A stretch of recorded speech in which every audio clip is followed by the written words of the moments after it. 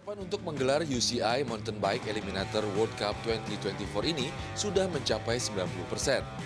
Lintasan balap sepeda gunung dan fasilitas pendukung lainnya yang dibuat di area kawasan Stadion Tuah Pahu Palangkaraya ini pun dipastikan akan siap digunakan pada hari Minggu besok. Event yang akan diikuti oleh sekitar 54 pembalap dari 40 negara ini merupakan seri ketiga dari total 8 seri balap sepeda MTB yang dilombakan di seluruh dunia pada tahun 2024.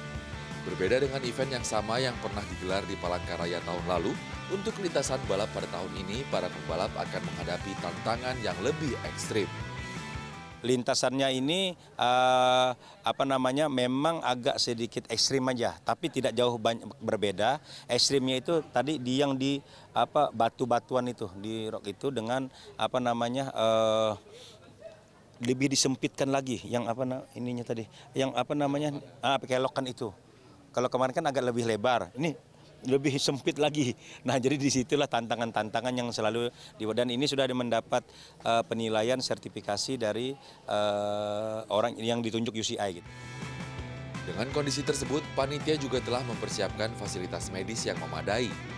Selain tenaga medis di lapangan, panitia juga menyiapkan 11 ambulans dan dua rumah sakit terdekat sebagai rujukan untuk mengantisipasi adanya atlet yang mengalami cedera serius sudah kita siapkan uh, bagaimana jalur eva evakuasi, kemudian berapa uh, ambulan yang harus dipersiapkan oleh panitia sudah kami cek semua dan saya jamin mudah-mudahan jika tidak ada halangan bisa kita laksanakan UCI 2024 dengan sukses.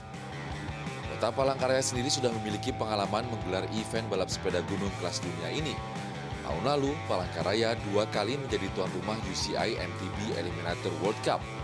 Salah satu dari seri tersebut adalah Championship Series yang merupakan seri penentu siapa yang berhak meraih gelar juara dunia dari seluruh seri yang sudah berlangsung di tahun 2023. Erlangga Wisnuaji, Softan Herdiagama, Palangkaraya.